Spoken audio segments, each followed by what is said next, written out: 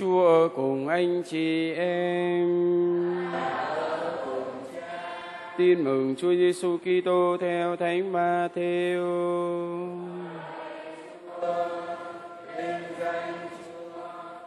Khi ấy những người biệt phái nghe tiếng Chúa Giêsu đã làm cho những người sát đua xê đã sát đua câm miệng thì họ họp nhau lại. Rồi một người thông nhuột luật trong nhóm họ hỏi thử người rằng: Thưa thầy, trong lề luật giới răn nào trọng nhất? Chúa Giêsu phán cùng người ấy rằng: Người hãy yêu mến Chúa là Thiên Chúa ngươi hết lòng, hết linh hồn và hết trí khôn ngươi. Đó là giới răn thứ nhất và trọng nhất. Nhưng giới răn, giới răn thứ hai cũng giống giới răn ấy là Người hãy yêu thương kẻ khác như chính mình ngươi. Toàn thể lề luật và sách các tiên tri đều tóm lại trong hai giới răn đó. Đó là lời Chúa.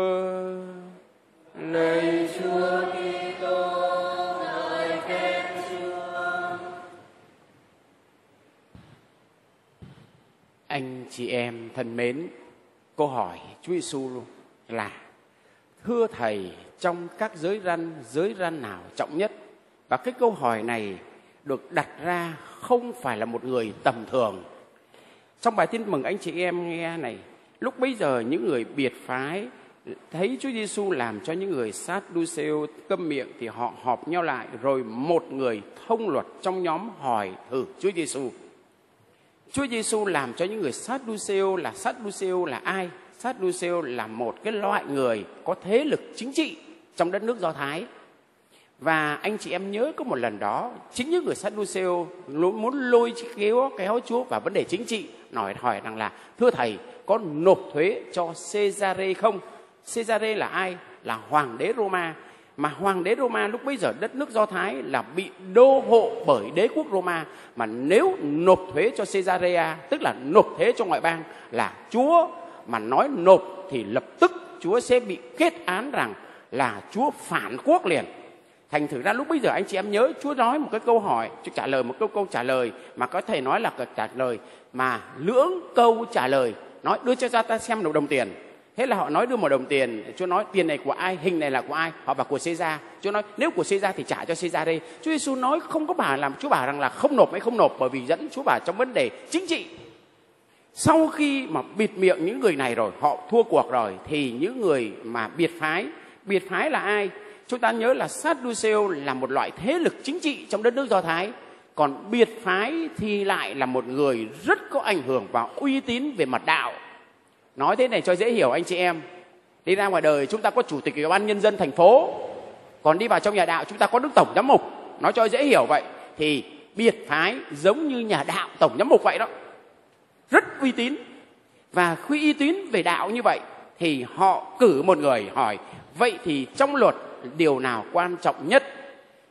Giữa khi mà đặt cái câu hỏi như vậy, đây là một loại mà dân trí thức và có uy tín trong xã hội hỏi cái câu này thì các nhà chú giải kinh thánh trả lời nói thế này, ở trong ngầm một cái câu hỏi này thì nó có hai cái yếu tố đặt ra.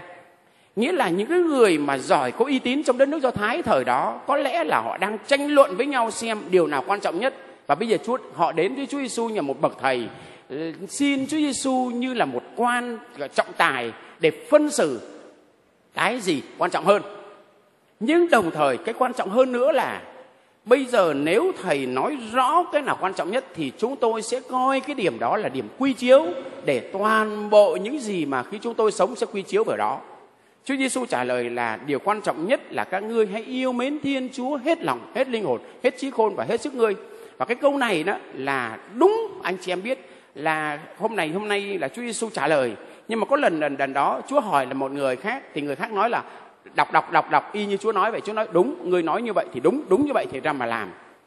Anh chị em, khi Chúa Giêsu nói yêu mến Chúa hết lòng, hết linh hồn, hết trí khôn, và đó là giới răn trọng nhất và lớn nhất, thì điều này đó, nó được trả lời không phải là câu trả lời cho một câu hỏi. Tôi lấy một cái ví dụ cho dễ hiểu.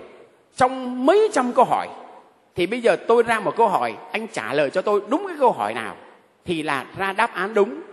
Nhưng câu trả lời của Chúa Giêsu không phải là câu trả lời cho một câu hỏi, mà là câu trả lời để làm nền cho tất cả các câu hỏi khác. Lấy ví dụ về cho dễ hiểu này. Bây giờ chúng ta biết là tôn trọng con người. Chúng ta phải tôn trọng con người. Đơn giản vậy thôi. Tôn trọng sự sống con người. Thì tôn trọng sự sống con người thì đi ra ngoài đường đó. Chúng ta phải tôn trọng luật giao thông vì là con người. Vì tôn trọng con người chúng ta hàng xóm láng giềng, chúng ta đi ra đi vào. Chúng ta quét nhà, đừng có hất sang nhà người ta. Vân vân và vân vân. Nghĩa là tất cả những cái bệ, bộ luật nào vặt vãnh hay cụ thể thì nó chỉ là cách biểu lộ về sự tôn trọng con người. Vậy, yêu mến chúa hết lòng, hết linh hồn, hết trí khôn được gọi là nền tảng và dựa trên nền tảng đó để xây dựng bộ luật. Và đây chính là câu trả lời vì thế có những cái câu hay là có những cái việc luật nọ luật kia xảy ra, nhưng mà có những cái luật mà bất thành văn. Dựa trên luật, đó là yêu mến thiên chúa, chúng ta phải giữ. Lấy ví dụ nhé tôi nói ví dụ này. Tôi xin lỗi anh chị em, tôi giải tội đó. Thì hầu hết thông thường là xưng tội đó. Cứ 10 điều đó Đức Chúa Trời, cứ dò hết từ trên xuống dưới điều răn thứ nhất, điều răn thứ hai, điều răn thứ ba, điều răn thứ bốn, hết 10 điều răn.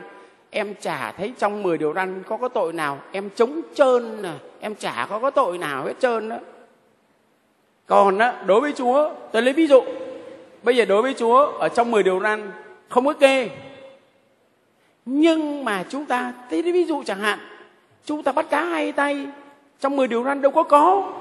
Chúng ta lúc cầu nguyện với chúa, chán quá, đi sang, đi xin xăm đi bói cùng hết tất cả.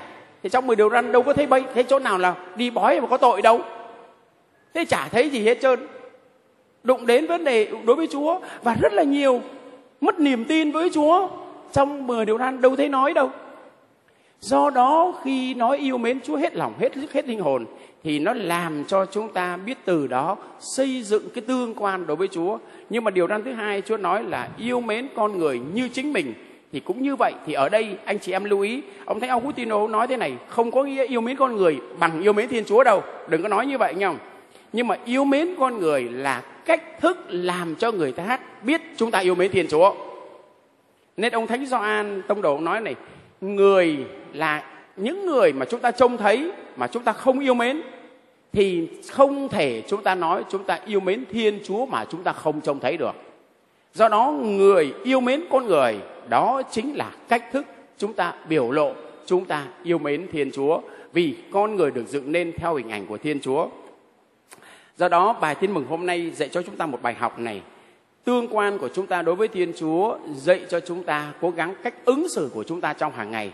Nhưng mà cách thức chúng ta yêu mến con người thì làm cho chúng ta biểu lộ rằng chúng ta gắn bó với thiên chúa. Do vậy đó, một cách rất là cụ thể. Anh chị em nhớ một cái điều là trong giáo hội công giáo chúng ta lên thiên đàng á, mà chúng ta ước ao cho người khác xuống hỏa ngục á, là không có được đâu. Nhiều người, chúng ta muốn lên thiên đàng một mình thôi. Chúng ta làm muốn cho người khác khổ. Chúng ta ghét người ta, chúng ta không muốn cho người ta lên thiên đàng. Chúng ta chù ẻo người khác. Chúng ta nghĩ xấu cho người khác. Chúng ta đọc kinh cầu nguyện, chúng ta xin chúa cho chúng ta nhiều thứ lắm. Bản thân của chúng ta chúng ta xin chúa tốt lành lắm nhưng trong lòng của chúng ta thì muốn điều xấu cho người khác, chúng ta không có làm được phép như vậy. Bởi vì người yêu mến thiên chúa không thể nào có một cái tương hợp mâu thuẫn khi chúng ta nghĩ cho người khác xấu để chúng ta yêu mến thiên chúa. Và đó chính là bài tin mừng hôm nay rất cụ thể với chúng ta. Bởi vì chúng ta, đặc biệt là người Việt Nam của chúng ta rất quen, rất là từ thường. Chúng ta cầu nguyện với Chúa tha thiết lắm xin Chúa cái này, xin Chúa với cho chúng ta, cách riêng chúng ta, nhưng trong lòng của chúng ta thì đối với con người, đặc biệt với người chúng ta ghét, chúng ta không ưa, thì gần như chúng ta không có cầu nguyện cho họ và gần như chúng ta chỉ mong điều xấu cho họ thôi. Và vì thế chúng ta phải sửa lại cái đó bởi vì con người là hình ảnh của Thiên Chúa.